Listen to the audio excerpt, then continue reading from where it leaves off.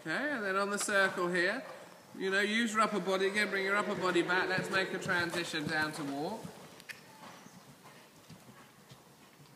Ooh.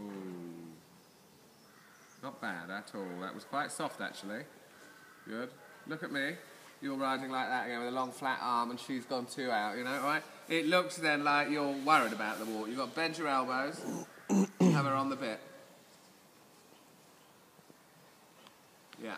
All right, just keep a very relaxed leg. Walk forward, walk forward. That's it. Keep moving, keep moving, but with uh, with that neck on the contact. Good. Very nice. Canter. So, yep.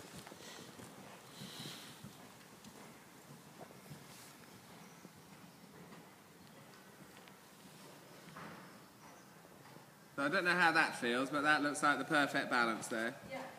Really nice outline. Good, good canter. You could looks like you could collect and go forward from that. Go large. Look in the mirror. Let's see how straight it is.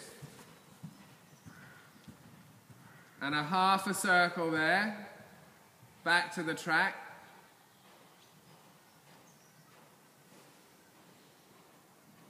And then you do some counter canter on this side.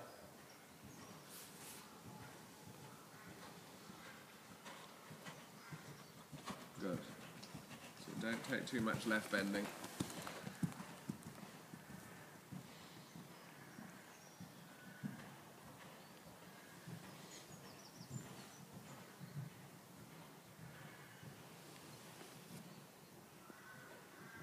All right, be careful that it doesn't get more and more open and flatter and flatter and flatter.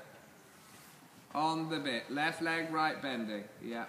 Left leg, right bending a little bit there. There we go. This is good.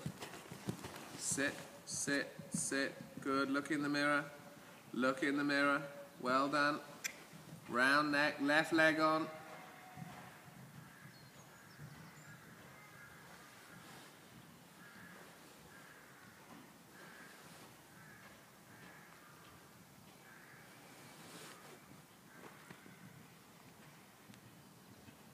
Yeah, I mean, you still have to see the right eye a little bit, that's all. there you go.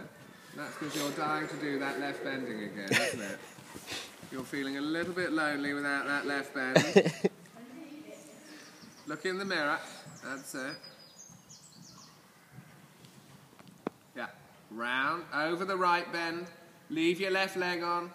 Yeah. Sit, sit, sit, sit. This is good.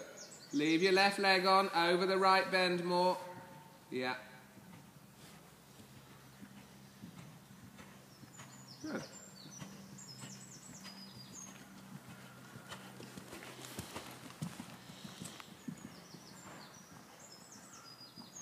Good. Right, you make a transition.